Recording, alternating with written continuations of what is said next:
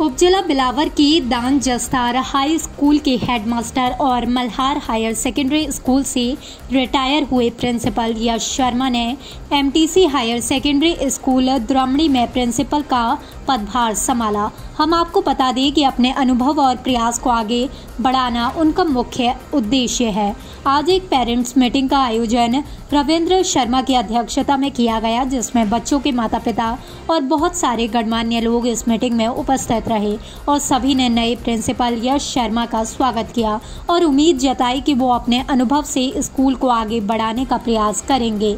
और स्कूल को ऊंचाइयों तक पहुँचा देंगे। इस मौके पर वीरता शर्मा, पृथ्वीराज आदि ने संबोधित किया और आखिर में यश शर्मा ने सभी का धन्यवाद किया और सबको आश्वासन दिया कि वो अपने अनुभव से बच्चों को सही शिक्षा देंगे और इस स्कूल को बुलंदियों तक पहुंचाएँगे। बिलावर से दीपक शर्मा की रिपोर्ट।